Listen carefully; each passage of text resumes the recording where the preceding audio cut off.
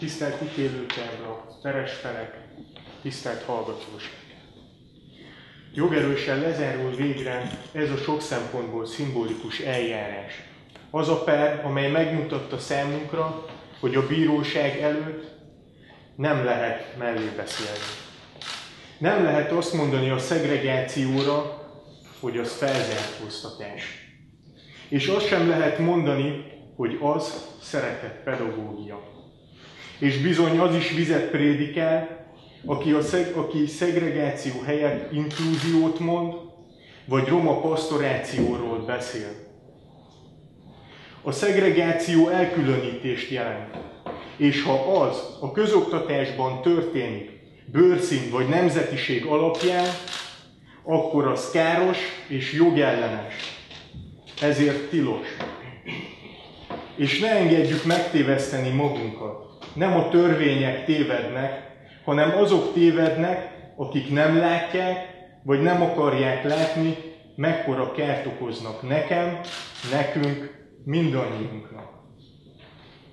Aki a buszeven kívüli világot csak akkor látja, amikor roma diáktársaival kiviszik a Vadasparkba, vagy betlehemes játékot ad elő a belvárosban, esetleg a Mária Pócsi cigánybúcsúba zarándokol, az nem tudja eltanulni a többségi társaitól kívánatos mintákat.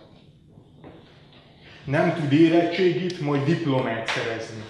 Így nem lesz jól fizető munkája sem. Ekképpen nem fogja a gyerekét a belvárosi iskolába iratni. A szegregáció tehát csak a nyomort örökíti generációról generációra.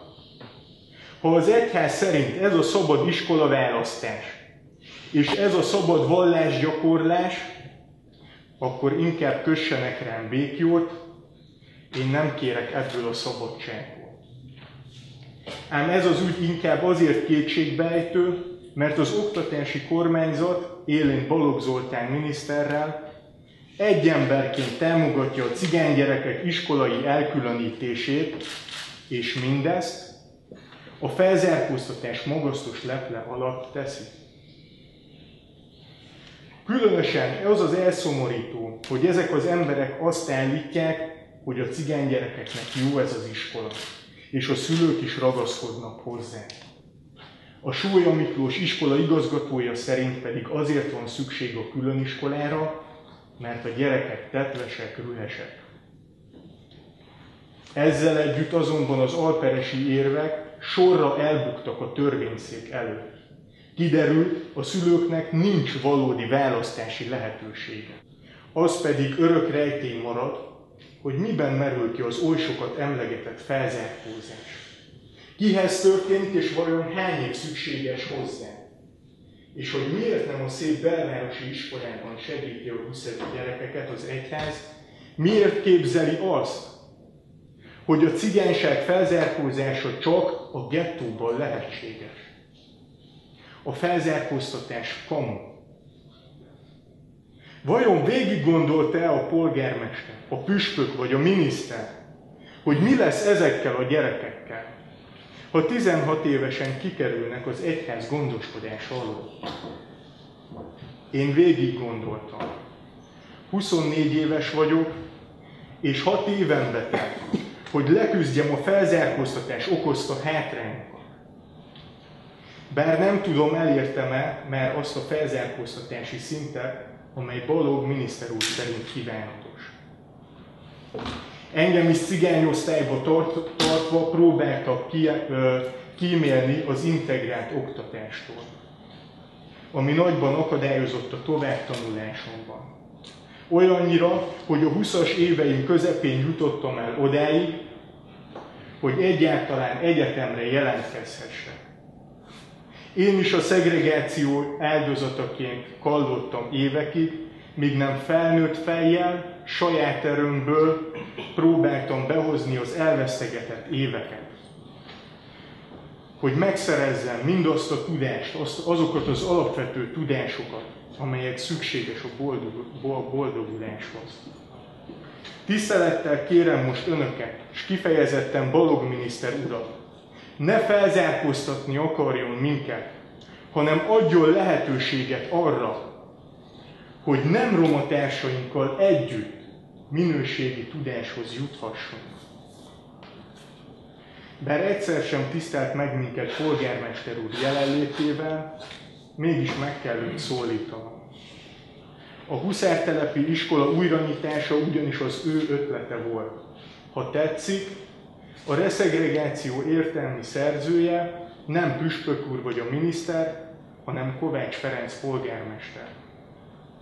És bár már csak az óvodák felett operál fenntartókat, fenntartóként kérem ön, ne akarjon így felzárkóztatni minket, hanem adjon meg a lehetőséget, hogy a nem roma gyerekekkel együtt járhassunk óvodába. A perbe az elromosítás okán belecsöppen klik elnökét is kérem, ne akarjon minket szegregálva felzárkóztatni, köszönjük szépen. Inkább törekedjen arra, hogy ne zaklassák, üldözzék vissza a Guszevbe a cigány gyerekeket, hanem dolgozzanak azon, hogy a pedagógusok és a gyerekek is tisztelettel és emberséggel legyenek egymás iránt.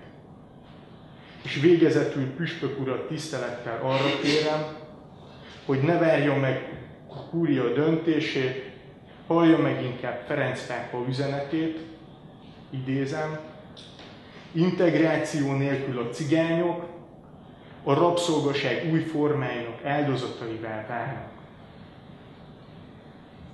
Püspök úr, hagyjon fel az új osztályok indítatásával, indításával, ne kelljen újabb tucat gyereknek áldozatul esnie a szeretetteljes szegregációra.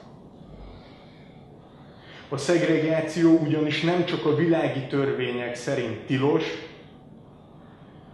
de a keresztény értékrendel is ellentétes. Sőt, erkölcstelen cselekedet. Tisztelt ítélő tábla, mondandóm végéhez érve kérem bölcs döntésüket, kérem, hogy az elsőfokú bíróság ítéletét helyben hagyjuk szívesen. Köszönöm a szépen